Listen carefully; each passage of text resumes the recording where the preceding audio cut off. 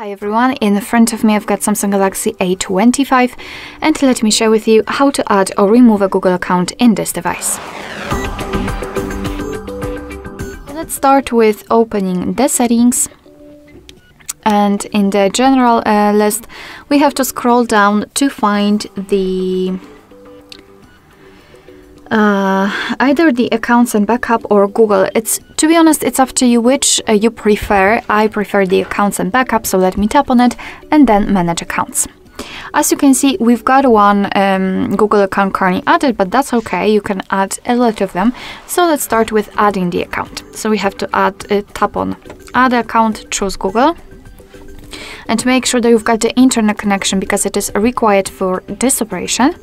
And here from this step uh, you can either create a new account if you do not have your own yet or simply type your email or phone. So let me do it.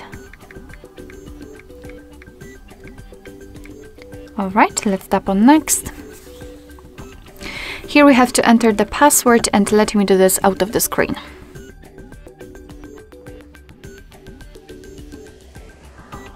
Okay, let's tap on next.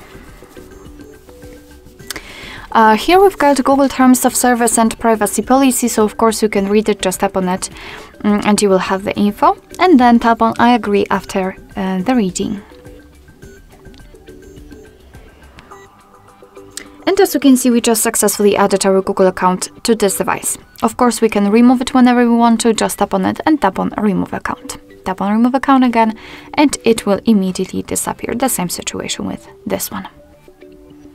Alright, so that will be all. Thank you so much for watching. I hope that this video was helpful and if it was, please hit the subscribe button and leave the thumbs up.